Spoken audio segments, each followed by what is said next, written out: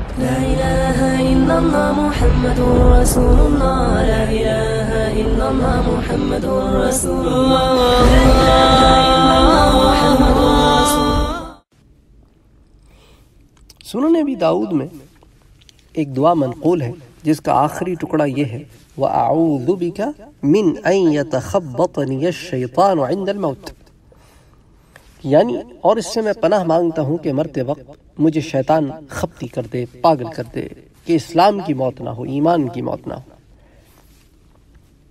اسی طرح ایک اور روایت بحوالہ امام مسلم حضرت عبداللہ ابن عباس رضی اللہ تعالیٰ عنہ اس کے راوی ہیں۔ یہ وہ واقعہ ہے جب حضور اکرم صلی اللہ علیہ وآلہ وسلم مکے میں تھے اور ایک آدمی ہوا کرتا تھا جس کا نام تھا دمات ازدی یہ قبیلہ از سے تعلق رکھتا تھا۔ تو وہ مکے آیا اور اس کو حضور اکرم صلی اللہ علیہ وآلہ وسلم کے بارے میں پتہ چلا تو لوگوں نے تو یہی مشہور کر رکھا تھا کہ معاذ اللہ، آپ دیوانے ہیں، مجنون ہیں، آپ پر جن کا سایہ ہے۔ تو اس نے جو ہے وہ حضور اکرم صلی اللہ علیہ وسلم کو اپروچ کیا۔ سیرت النبی کے شروع کے دروس میں بڑی تفصیل کے ساتھ یہ واقعہ میں آپ کے سامنے رکھ چکا ہوں۔ تو فقال، اس نے کہا، یا محمد، انی ارقی من هذا الریح فهل لکا میں جو ہوں نا وہ رقیہ کرتا ہوں آسیب زدہ سے چھٹکارے کے لیے۔ تو اگر آپ کو کوئی عذر نہ ہو تو میں آپ کا علاج کر سکتا ہوں۔ تو اس کی حدیث شریف میں جو الفاظ ہیں نا وہ ریح کے ہیں۔ ریح ویسے تو ہوا کو کہتے ہیں، لیکن عربی زبان میں جن کے لیے بھی لفظ استعمال ہوتا ہے، کیونکہ جیسے ہوا نظر نہیں آتی، جن بھی نظر نہیں آتے، تو جن کو بھی ریح یعنی ہوا کہتے ہیں۔ اچھا تفسیر ابن کثیر میں بحوالہ تفسیر ابن جریر حضرت عیسیٰ علیہ السلام کے واقعے میں بھی یہ بات ہمیں ملتی ہے کہ اس زمانے میں جو لوگ تھے، جو عیسیٰ علیہ السلام کے مخالف تھے، وہ بھی یہ تانا کر دیتے تھے کہ عیسیٰ علیہ السلام تو مردوں کو زندہ کر دیتے ہیں، اللہ کے حکم سے جنات کو بھگا دیتے ہیں اور اب خود سزا پا رہے ہیں اور اپنے آپ کو نہیں بچا سکتے۔ تو اب عیسیٰ علیہ السلام والا واقعہ جو مسلمانوں کے ہاں ہے، وہ یہی ہے کہ وہ تو نہ کبھی سلیب پہ چڑھے، نہ کبھی انہیں یہ سزا ہوئی۔ اللہ تعالیٰ نے انہیں پہلے ہی اٹھا لیا تھا۔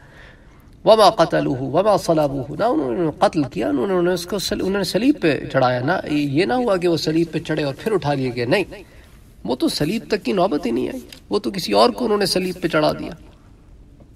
اور یہ سمجھتے رہے کہ عیسیٰ علیہ السلام کو چڑھا دیا۔ تو پھر آپ واپس آئے اور پھر کتابوں میں آتا ہے کہ مریم علیہ السلام اور وہ عورت جس کو عیسیٰ علیہ السلام نے جن سے نجات دلائی تھی، پھر وہ آئے اور پھر ان سے ملے اور کہا کہ بہرحال وہ لمبا چوڑا قصہ ہے۔ تو اس اس زمن میں بعض لوگ یہ واقعہ بھی نقل کرتے ہیں۔ اچھا تفسیر ابن کثیر میں سورہ حامیم سجدہ کی تفسیر میں لکھا ہے کہ جب سرداران قریش نے حضور اکرم صلی اللہ علیہ وآلہ وسلم کے پاس ادبا بن ربیہ کو بھیجا، تو اس نے حضور سے بہت ساری باتیں کی اور کہا ان میں سے بھئی کہ اگر آپ کو کوئی جن وغیرہ کا اثر ہے تو ہم اپنا مال خرچ کر کے آپ کو بہتر کر دیتے ہیں۔ اس میں بھی اس نے جو ہے جن کا ذکر کیا۔ اچھا اور پھر جھاڑ پھونک کا بھی ذکر کیا کہ ہم وہ بھی علاج مہیا کرا دیتے۔ ہیں ایسا ہوتا ہے کہ بعض مرتبہ جو تابع جن ہوتا ہے وہ اپنے عامل پر غالب آ جاتا ہے تو اس طرح چھٹکارا حاصل کیا جاتا ہے۔ وہ تمام تفصیلات دے رہا ہے حضور کو۔ تو حضور اکرم صلی اللہ علیہ وآلہ وسلم نے بڑی تفصیل سے اس کی بات سنی اور فرمایا، سنو بحمد اللہ اللہ کے حمد کے ساتھ، اللہ کے شکر کے ساتھ مجھے اس طرح کا کوئی عارضہ نہیں ہے۔ تو اس سے معلوم ہوا کہ اسلام سے پہلے بھی لوگ کسی جن کا آنا اور قرین کا تابع ہونا مانتے تھے۔ جسے آپ کہتے ہیں نا، یہ حمزاد اس کا تابع ہونا مانتے تھے۔ اور جس پر جن آتا تھا، اسے مجنون کہتے تھے۔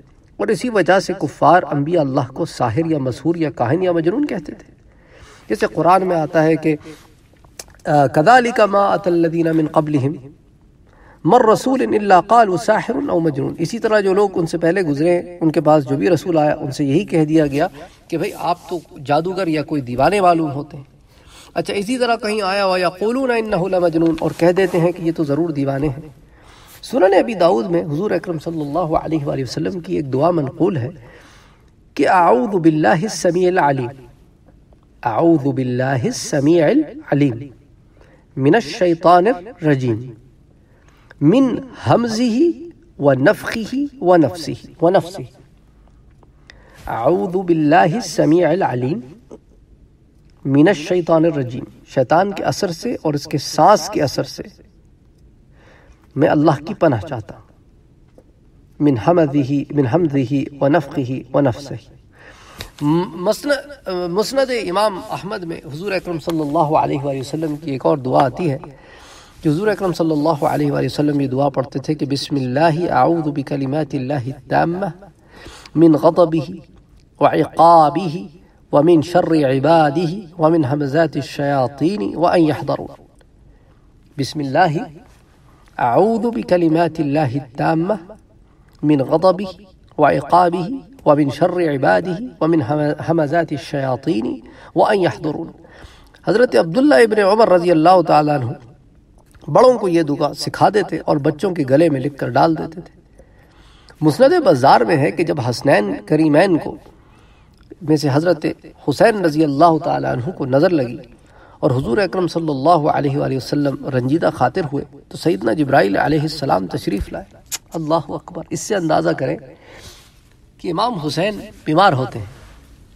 امام حسین بیمار ہوتے ہیں، مسند بازار کی روایت ہے یہ۔ اور میرے آقا رنجیدہ ہوتے ہیں اور عرش سے میرا رب جبرائیل کو بھیج دیتا ہے۔ اللہ اکبر اللہ اکبر، یہ شان مصطفیٰ ہے، یہ شان امام حسین ہے۔ یہ محبت ہے امام حسین سے میرے رسول کی۔ تو ان ظالموں کا کیا ہوگا جس نے نواسہ رسول کے ساتھ کربلا میں یہ کیا؟ ایک لمحے کو سوچے۔ اللہ اکبر اللہ اکبر اللہ اکبر اللہ اکبر۔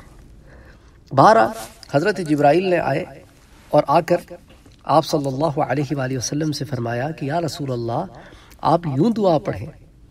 من انفس الجن و اعین الانس۔ کہ جنوں سے اور انسانوں کی نظروں سے۔ اللہ اکبر، اللہ پناہ میں رکھے۔ تفسیر ابن کثیر میں اس کا ترجمہ کچھ یوں لکھا ہے کہ تمام جنات کی ہواؤں سے اور تمام انسان کی آنکھوں سے اپنی پناہ دے میرے مولا۔ تو کسی انسان پر جن کا آنا، اس کے اثرات کا ہونا، انسان کا خپتی ہو جانا یا مجنون ہو جانا اور اسی طرح اثر کا ہو جانا، یہ تمام باتیں جو ہیں وہ متواتر مختلف جگہوں پر آتی ہیں۔ اور مختلف طریقوں سے ثابت بھی ہیں۔